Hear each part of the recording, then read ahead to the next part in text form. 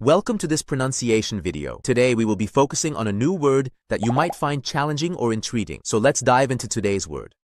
Tetto, which means Roof or ceiling in Italian architecture, top or cover.